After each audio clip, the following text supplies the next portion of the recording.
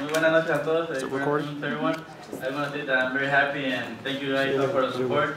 It was a hard fight, like I said it, but you know we trained really hard in the gym. We we expected a war, and that's what happened. And we thank God, and uh, we came up with the victory. Thank you guys.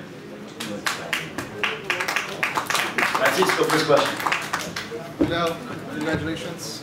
Um, you know, with all the hype in this fight, Southern California, two Mexican American fighters, shaking off the stigma of what fans think, you know, you fought a soft schedule, at couple fights.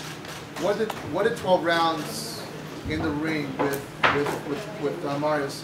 What did that teach you about yourself as a fighter that maybe you didn't get in your previous 31 fights? No, I'm here to fight the best. Um, like I said it before, uh, I'm here to fight the best, and I was gonna prove it that beating Mares, I was gonna show them ready for him and for anybody else. You know, with the better fighters, I look better. Uh, that's what I said in the beginning. I know how to box and everything, but we like other fans. They like for me to go forward, throwing a lot of punches, and we always like to give the fans great fights, and that's what we try to do. But then we, we had to box them, and we could do whatever we want. Thank you. All right, you know what, guys, also, we, we have a microphone going around. Before we get to our next question, I know Tom Brown from TGB Promotions, who is the promoter for PBC here in Los Angeles, Santa Cruz Mares, wants to send a congratulations to Leo Santa Cruz, and he thinks that we had an amazing fight, and what a war. It was everything he expected, and he wishes congratulations to. Leo Santa Cruz. Compliments to Tom Brown, TGB Promotions. Bernie Barmelzol is actually walking around here with the microphone, so please raise your hand, and he will accommodate that, and we will go forward from there.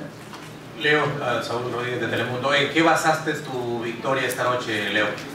A mi familia, siempre yo estoy peleando aquí por mi familia, que les quiero seguir dando un buen futuro y por todos los fans, y por el apoyo que recibo, me da, eso, me, me da la motivación para seguir peleando y luchando por, por más cintos. Question was, what motivated you, and what did you think about during the course of the fight? Leo's response, my family. I always fight for my family. I want to give them a better life, and that's why I fight, and that's why I push forward. Leo, estamos parados frente al nuevo ídolo de aquí en Los Ángeles. Vamos a pensar que puedes diseñar ya los zapatos de Golden Boy. No, pues, eso es lo que tratamos de hacer, este, pelear por pelear, vamos a ir mejorando, vamos a ir aprendiendo y ojalá algún día lleguemos a hacer este, como Oscar Loya, como cualquier peleador mexicano y ojalá algún día lleguemos a hacer eso. Question was, do you think you are moving in the same realm as another uh, quality fighter and amazing fighter from Los Angeles, Oscar De La Hoya? Do you think you're starting to fill his shoes? Leo says he knows he has a ways to go before he gets to that level, but he's going to continue to grow and move forward and train hard and try, and one day wants to show everyone and wants to continue to show everyone that he's a great Mexican champion. Leo, um, right here.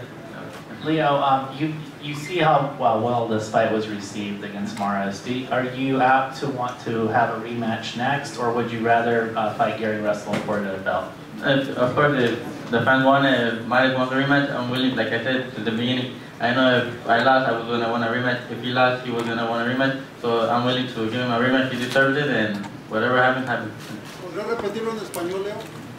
Sí, no, este, me preguntando que si le daría la revancha a Mares, yo le dije que sí, lo, lo dije desde el principio. Este, si yo sabía que cualquiera de los que perdiera iba a una revancha, y si Mares quiere la revancha, si los fans la quieren, yo estoy dispuesto a dársela, se la merece y para, para los peleadores con que. Leo, at, right at the opening bout here, right at the opening bout, he pretty much bum rushed you. He was, and then even you keep him off with a lot of big punches. He still kept coming at you. What was your reaction to that? Uh, that he was trying to knock me out. I know he was gonna come out like that in the first round. He was gonna try to surprise me. But you know, we were calm, we were patient, we didn't get desperate. My dad told me he's not gonna be able to last all the rounds like that, he's gonna get tired. And we were patient and we just him with good punches and that's what we did.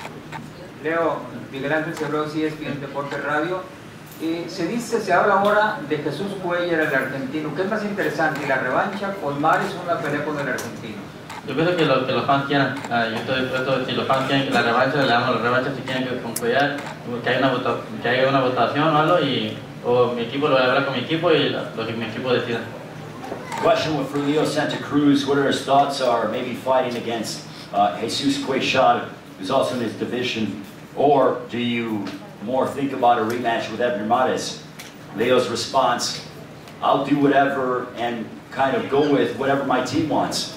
If a fight with Cuellar is out there, then a fight with Cuellar is out there. If there's a rematch with Mares, he will, they'll move forward with that. But he's still, at, first and foremost, he has to talk with his team, uh, sit back and observe, and then move forward from there.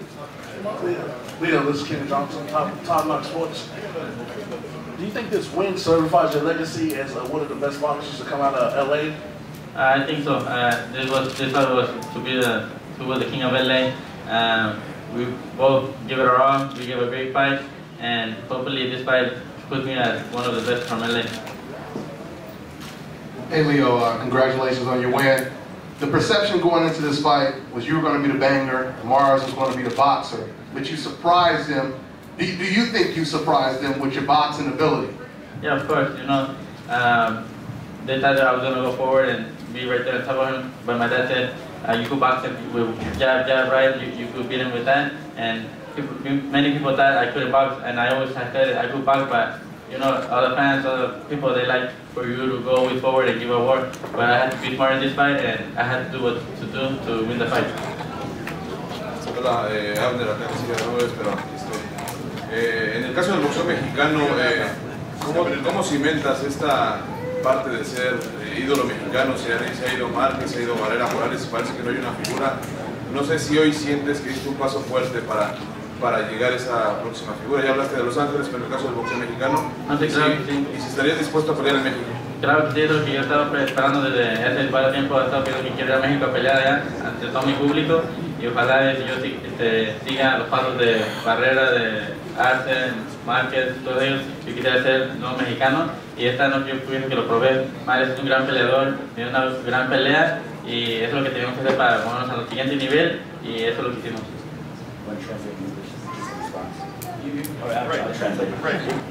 All right, let's go ahead. Let's bring up. uh, Let me translate real quick. Let's bring up Abner Mares. I'll translate real quick with Dale Cruz. Let's get from Abner Mares. Uh, one after uh, both gentlemen. Is working between the two. We're going to have Abner up here momentarily, but let me translate first what Leo said. He goes, a win like this certainly helps him to continue to move forward and follow the footsteps of the great Mexican champions. And he wants to continue to prove oh, his worth every single time. And now let's go ahead and you, you could just, you can come up real quick. A round of applause to what a warrior, what an effort. He came out the center of the ring and they started standing.